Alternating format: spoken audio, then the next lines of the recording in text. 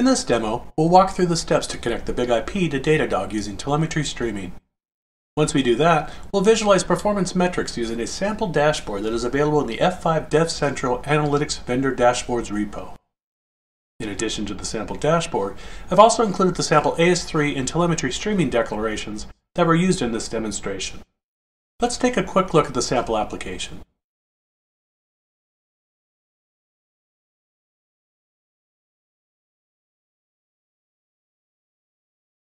The public-facing virtual server provides load balancing with SSL offload and redirection.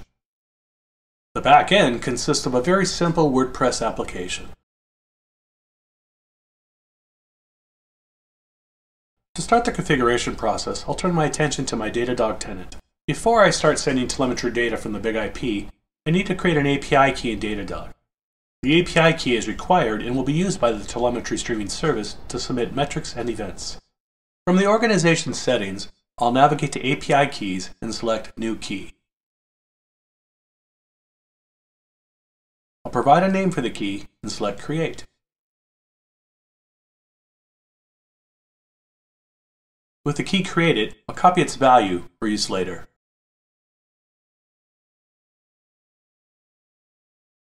With my Datadog tenant ready to start receiving telemetry, I'll configure the Big IP to start sending telemetry data. To accomplish this, I'll use Postman and F5's automation toolchain to post AS3 and telemetry declarations to the Big IP. AS3 enables the ability to declaratively manage several Big IP resources.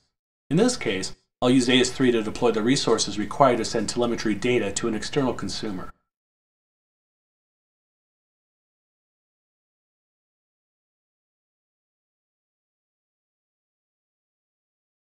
Next, I'll apply my TS declaration. The declaration configures a system puller, listener, and the consumer. Guidance for the declaration, including specific guidance for the related data Datadog consumer that's used in this demonstration, is available in F5 Cloud Docs.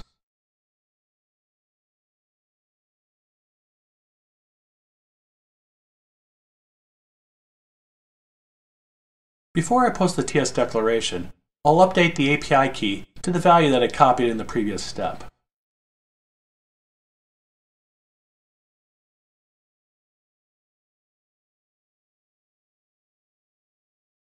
With that complete, I'll return to the Big IP to finish the streaming setup.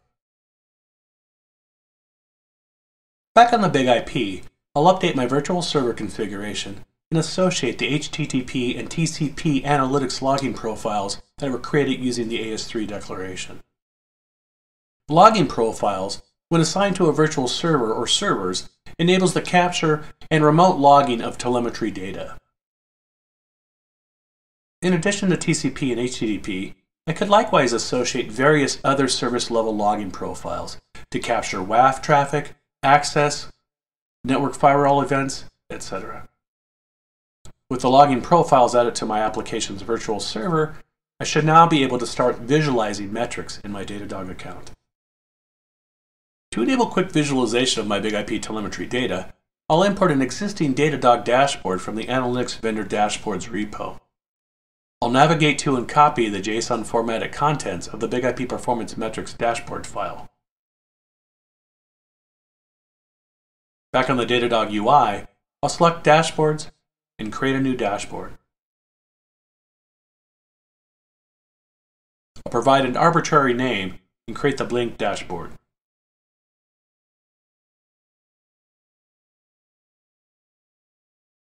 From the Dashboard Settings dropdown, I'll select import dashboard JSON, and paste my previously copied JSON to update the dashboard contents and title. With the dashboard created and updated, I am now able to view performance metrics for my Big IP devices. In addition to serving as an example of how easy it is to visualize Big IP metrics, the Big IP Performance Metrics dashboard provides visualizations related to system CPU, memory utilization, throughput, and other system performance metrics.